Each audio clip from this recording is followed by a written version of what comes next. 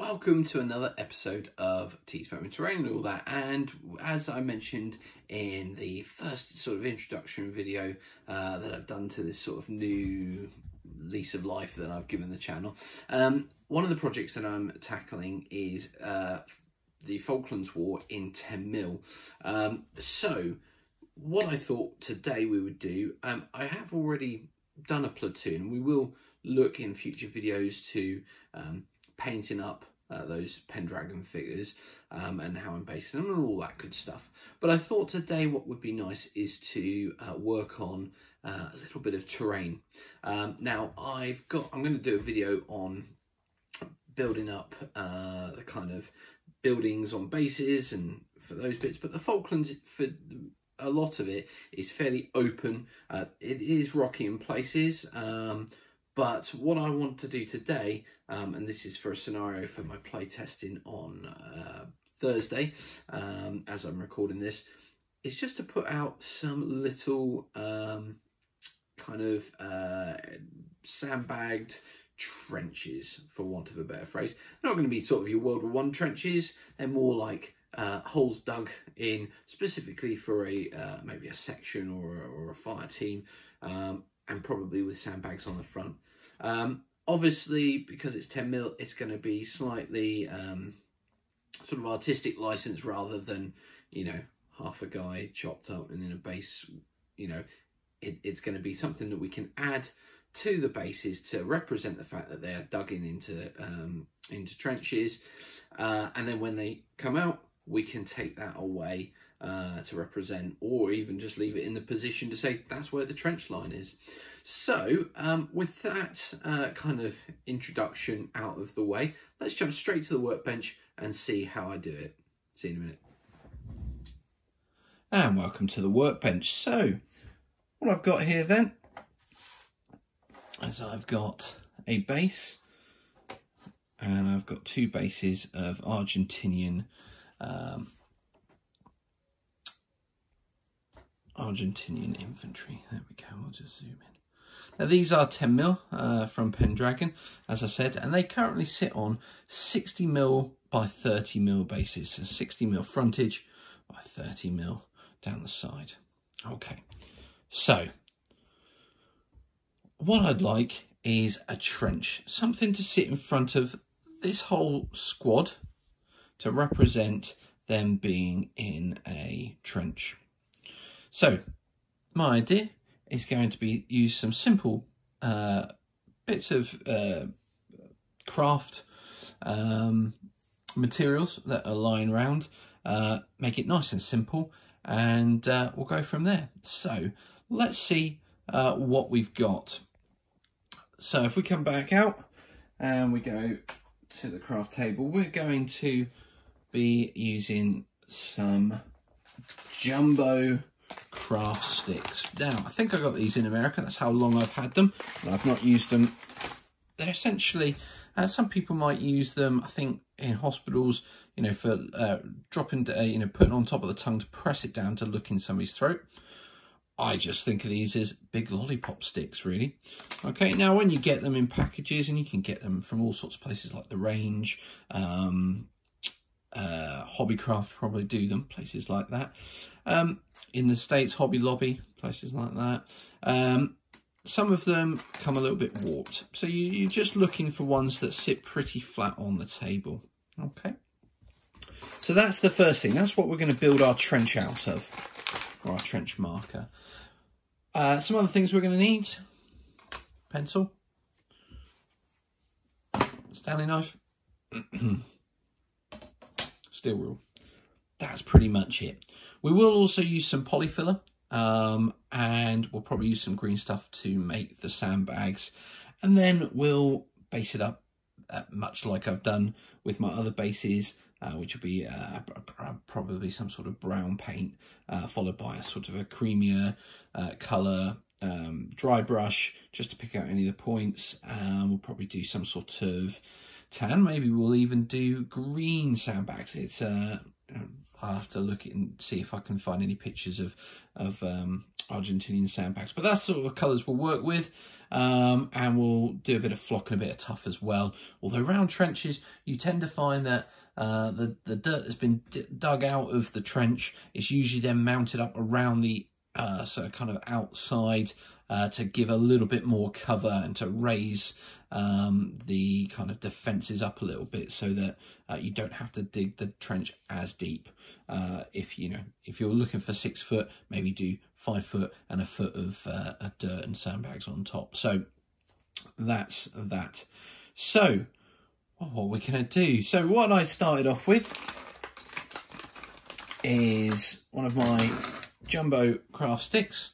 And I thought, well, wouldn't it be good if we could have the, the base lined up uh, against it.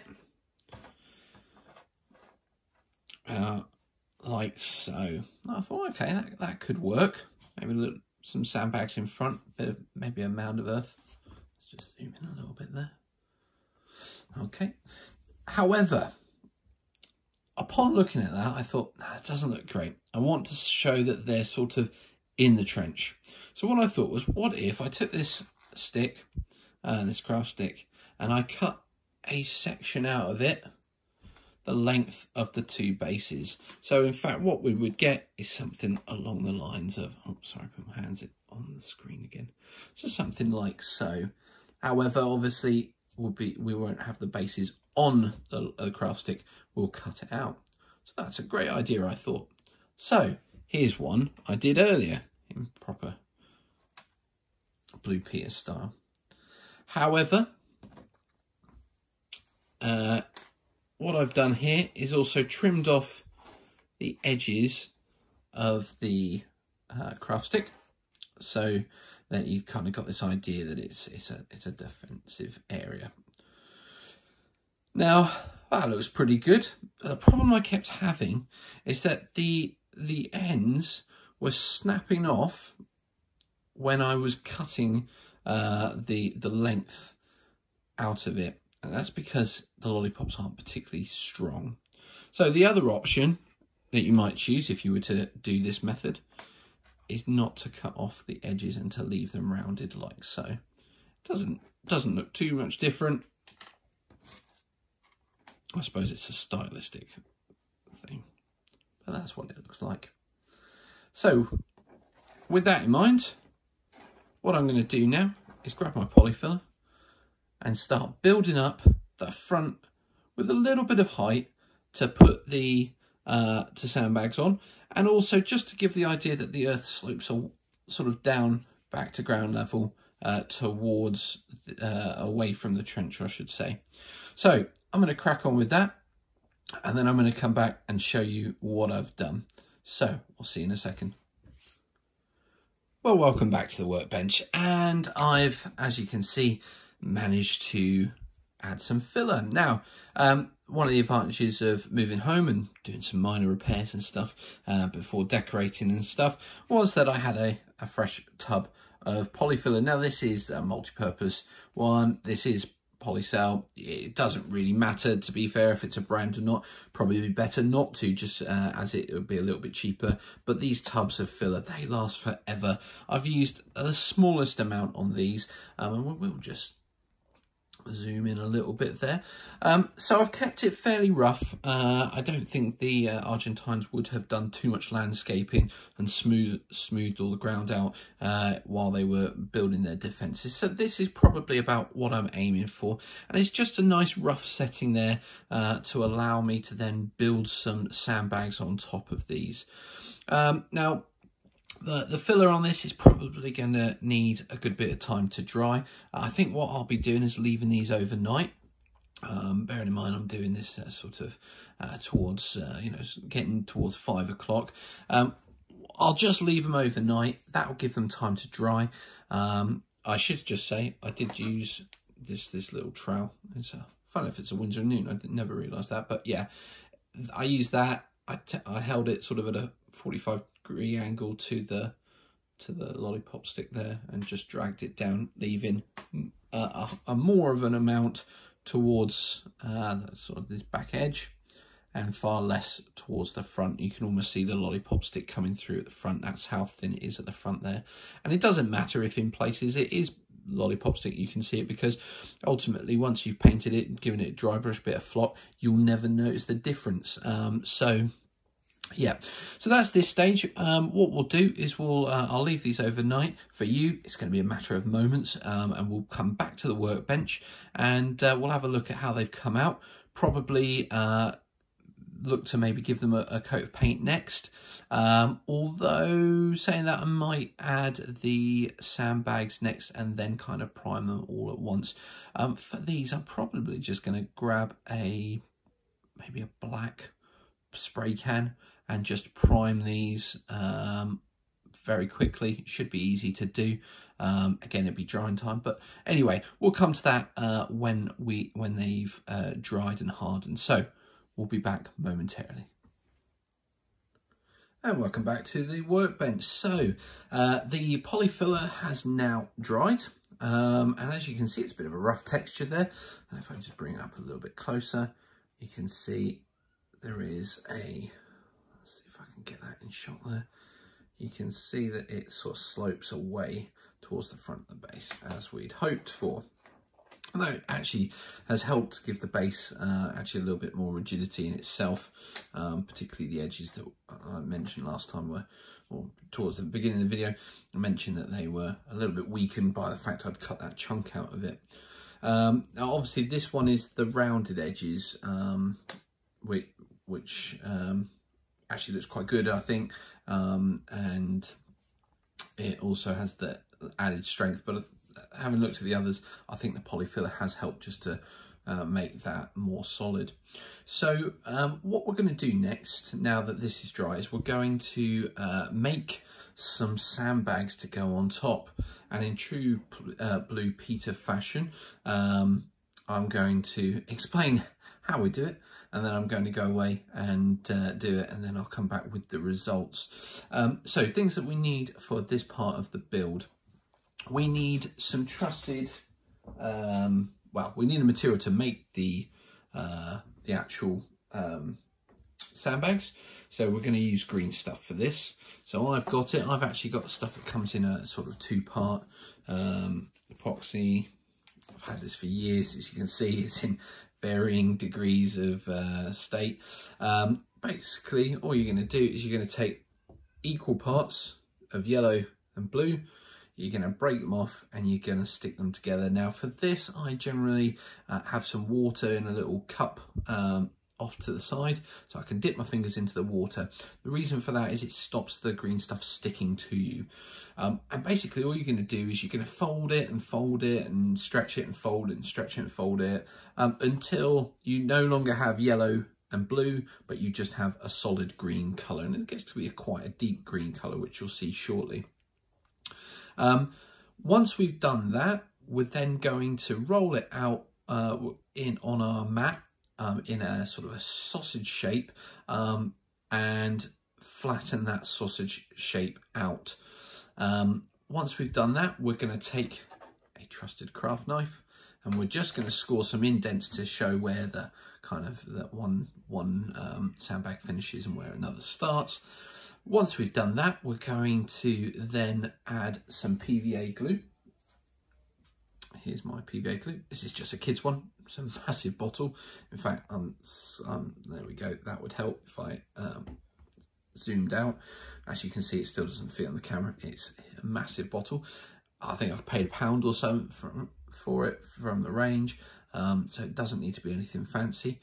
We'll, what we'll do is we'll with it using a paintbrush, we'll paint some of the PVA onto the edge of the trench line. We'll then stick our uh, sandbags down on the trench line and uh, we'll probably make a few extra sandbags to, to do both the sides and then to stick uh, a few on top in the middle. And when we're done, it's going to look a little bit like this. And here's where Here's one I did earlier, comes in. Brilliant. So there's the three, and I'll just zoom in so we can get a bit closer there. There we go. So as you can see, we've got our line of sandbags along the front there. I've added in some additional sandbags on the sides and just in some random spots I've added a second layer to the sandbags and you can add as much of these or as little of these as you want. Uh, it depends how uh, quickly of a prepared position you want it to be. Um, but basically that's that's then ready for the next uh, stage. And the next stage is simply to uh, to base coat them or to prime them. Now, I suppose you could do these with any paints, acrylic paints, and just slap it on with a big brush. I'm probably going to take these outside with a, a rattle can. Um, I'll probably prime them in black because uh, they're being 10 mil. I like the smaller scales to prime things in black um, so that I can leave a little bit of the black showing when I'm doing the painting just to suggest uh, shadow uh, and it just helps the figure or, or, whatever it is pop a little bit more. Um, just showing that black, it has that contrast between the other colours. So um, I'm going to get on and uh, make the sandbags for the last um, trench here. Um, I'll then take these outside and prime them, leave them to dry overnight. Of course, for you on this film, it will be seconds but for me it'll be tomorrow and it will be uh, getting them painted before taking them to the club later that night uh, later tomorrow night for um, for some play testing so um, I'll be back in a flash with some uh, primed uh, trenches and I'll show you the colours I'm going to use to paint them. So I'll see you in a moment and we're back, and uh, as you can see, I've managed to spray uh, these with uh, a sort of a dusting of black. I'm actually just looking at them now thinking there are bits that I have sort of missed, but ultimately, once I get the paint on it, it shouldn't matter too much. So the next stage then, now I've got these uh, primed in black, and uh, I think I gave them, as I say, a light dusting uh, of black Halfords primer, and they'll probably dry in about three or four hours. Um, probably would have been dry a bit sooner, but as I had other things to be doing anyway, um, it didn't matter waiting a little bit longer to um, to, to give them some more drying time. So the next thing I'm going to do then is to paint these up. Once I've painted them up, we can then uh, think about the flock um, and just finishing them up. But just very quickly, we'll talk about paints. So what I've got here is a couple of GW paints and I've got a sort of a, uh, artistic, pretty cheap paint from the range, which I think cost me something like a pound. Not bad at all. In fact, they might have even been cheaper than that. Um, but they're very good in terms of uh, their acrylic paints and um, for doing things like terrain where you need to cover large areas. It's it's a good way of doing it. But um, I am going to use some GW paints for the, the ground cover. The reason I do that is because those are the paints that I use when I'm doing my um, bases uh, for my figures and I want them to all tie in. So the first one to get the ground cover is this uh, GW Steel Legion Drab. Okay, so that would be the base colour and then I will give it a dry brush with this uh, Terminatus Stone, uh, which is a dry brushing paint uh, specifically designed for dry brushing. Um, too expensive, but obviously they are a bit more expensive than something like this. Um, with these, tend to give them a good shake, take off the lid, and then you've already got some in the in the lid to use. You don't need to pour it out and waste it. Um, but that's that's that colour is latte. Um, I've got some others. If if I don't quite like the latte for the sandbags, I might try some of the others. But I think that should work. Um, I couldn't really find any reference pictures to see to show uh, just on a quick search there's probably more out there but I, I, couldn't find any that suggested that they were green instead of uh, sort of a, a khaki colour um, and I just was thinking actually if I do these as a, a khaki colour then they'll they can be used for other periods as well um, so anyway I'm gonna um, go away, get these painted. Once I've done that, I'll come back and I'll show you what I do with the flocking. So I'll see you in a moment. Okay, and we're back. So the paint is on and the paint is dry and uh, we're ready to start doing some flocking. Now uh, for this, I've got a couple of different uh, items uh, that we're going to be using. Um, the first is these uh, tufts. Oh, it's a bit close. Let's zoom out there. So that's in. Right, there's out. Right, so we've got these tufts. Uh, they're 2 mil tufts. Um, I quite like them for the 10 mil figures. They actually um, work really well. They're not too tall, um, but they do add a bit of uh, depth and, and, volume to uh, the the terrain itself. So, yeah, um, these actually come came from a company called Serious Play. Um, I got them off eBay and got quite a lot of them. They weren't too expensive, but they will last quite a long time. Um, they are fairly uniform, but I don't think that matters too much um, in the way I'm using them, so that's great. Uh, the second thing I'm going to do use, I've got some, I've got a bag of this saved from some previous, I don't know, some other um, I don't know how well you can see. I, I, I got this years ago, so I don't qu quite know where I got it from. But basically, it's a, it's an autumny sort of static grass type um, uh, flock or, or, static grass, basically. So I'll be putting some of that on. Um, so I will uh, do that. Um, all I'm going to do is add some lovely, P uh, well, I'm going to paint some PVA on with a paintbrush. Um, put a little bit, well, put the tufts on first, most likely, um, and then put the uh, static grass on. I probably won't get too much near the um, sandbags because obviously when they are digging the trench, actually you're going to have a lot of that grass probably um, dug up anyway um, or crushed underneath piles of dirt. So um, it there probably won't be a lot of uh, flock on this. Um, it will just be um, uh, kind of a small amount to to represent that actually um, you know it is uh, dug into into the earth and um, yeah I'm going to stop rabbiting on now. Uh, I'll come back in a moment when I've got these all flocked up for you. So, see you shortly. And welcome back. Uh, and that really didn't take too long at all, which was, you know, really, really pleasing.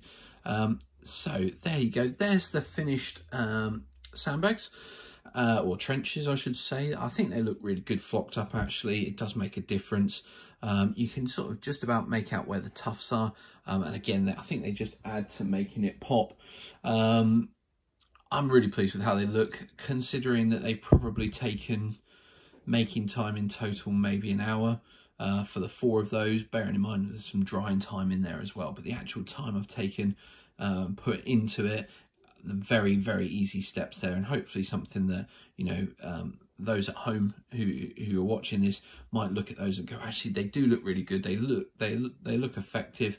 Um, and what I will do is just grab some figures in a moment and put them uh, behind them and just you know show them what it looks like.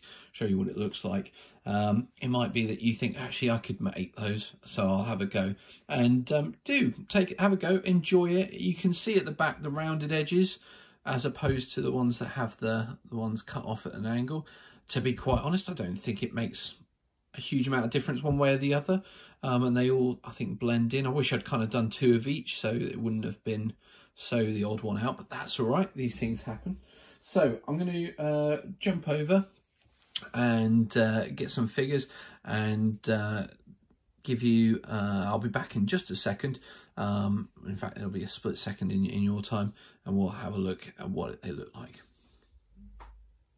And here we are. So there's the platoon in their uh, dug in positions, and I personally think they look quite good. Uh, this one at the front, it, it's a bit tight. The, the two bases don't quite fit in the gap, so I think I probably need to make it a little bit bigger, or subsequently some filler has got down the sides, possibly stopping it um, getting both of those in. But you know what? It sits on top sort of, uh, and actually it probably would still look good on the tabletop.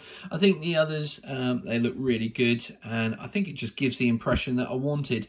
Um, I think these stack staggered across the table um, will be good, maybe a couple in one place and a couple in another, but um, hopefully hopefully they'll uh, look really good tonight for the playtest. So, so it brings us to the end of this video. I will obviously be doing more on the 10 mil terrain um, and also the 10 mil figures building up the Argentine army. Um, if you've liked this video, please give it a like. You know, feel free to put a comment in the comments box below. Um, it you know it, it would be fantastic to hear your thoughts um, and comments as as you have in in, in previous videos uh, many many years ago. Um, if you've liked these and you want to see more videos, please subscribe. It really is encouraging. Um, and uh, I have already begun work on one of the other projects as well. So I shall be uh, getting a video recorded um, on that very soon. Um, I'm hoping maybe to do one video a week, um, but try to get, because all the projects, the bits that I'm doing are fairly small, again hopefully keeping the video short as well. But i do apologize if this is dragged on. Once i've edited together we'll get a better idea. But anyway enough of me rambling. Uh, here's some 10 mil uh, trenches. Um, if you've you know if you if you if you've liked these and want to make them at home give it a go. It's good fun. So until next time take care and uh, enjoy your gaming